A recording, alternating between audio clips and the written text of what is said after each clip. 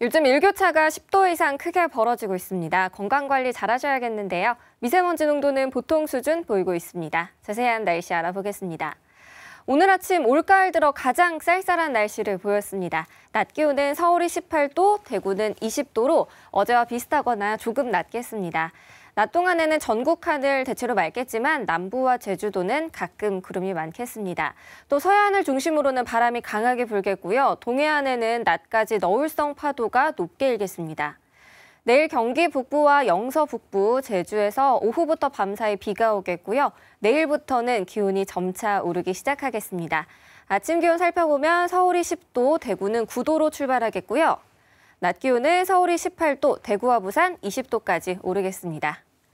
작전 기상 모두 양호하겠고요. 주말에는 예년 이맘때 가을 날씨를 되찾겠습니다. 이상 공군기상단 제공 기상정보였습니다.